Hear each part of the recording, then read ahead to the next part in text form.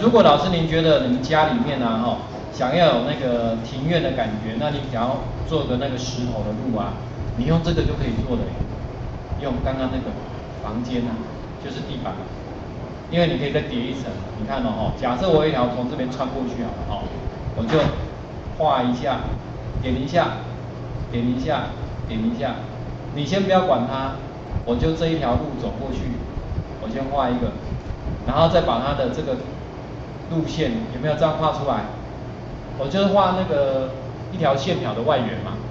对，我就点一下，中间会变那个，你先不要理它。好，点一下，点一下，请问那一条路线有没有出来了？有了哈。好，我如果到这里，这样是不是就结束了？好，那如果呢，你还没有把它停止的，你按键盘上的 ESC 也可以，或滑鼠右键点两下也 OK。你看我键盘上的 ESC，这样有没有就结束了？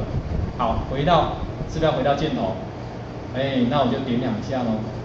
你要找纹理，对不对？我们这次不要草了，我要什么？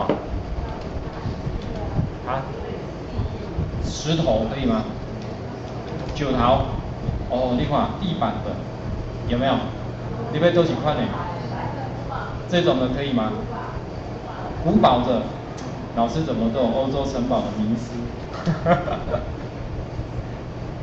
这样有没有了？还有没有就把这个填进去了，对不对？哎啊，然后呢，你要水池，要水池的话怎么办？自己去找。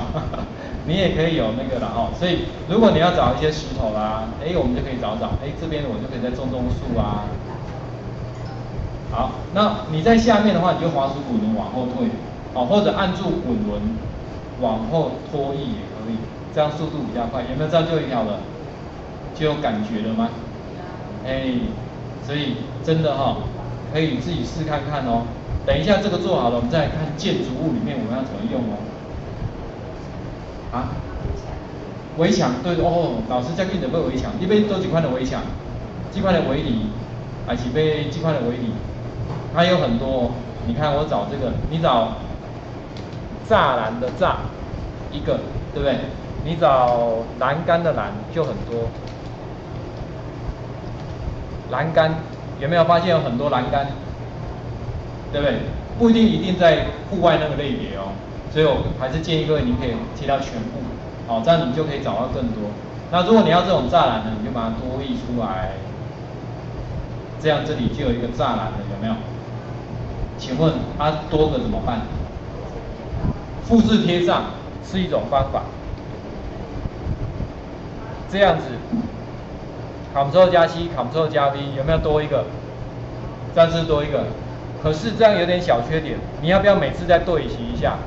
好像要哈，所以我通常都用偷懒的呢。我放大一点点，哎，老师你要把这个视窗放大，你看上面这里有没有这个加跟减？不过通常我都偷懒，我都这样，这样有没有放大比较自然一点？问一下老师，请问？网页的字太小，你要怎么放大？啊？如果是不是 Ctrl 加什么？加滚轮哦？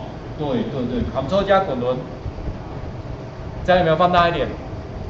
对啦，所以跟你用的习惯一样的，不要怀疑。所以您在这边，Ctrl 加滚轮有没有大一点？这样就比较容易看哦。好，你看我偷懒的哦。我先找到它，对不对？Ctrl，我按 Shift，按住 Shift，哎，等一下，按住 Ctrl，一拉，有没有多一个加号？按住 Ctrl 键一拉，是不是多一个加号？这样是不是又产生一个？但是如果你希望它水平的移动或垂直移动，我会再加按 Shift，这样有没有吸住了？我按住 Ctrl 是复制，但是加。Ctrl 加 Shift 会复制，又是水平复制或是垂直复制，这样有没有清楚？好，所以一变二，请问可不可以二变四？这样有没有出来了？然后呢，四就可以变什么？八，所以这一套软体原来也可以来玩数学。对对对对对，Ctrl 是复制的哦，Ctrl 你拖移这个物件就是复制。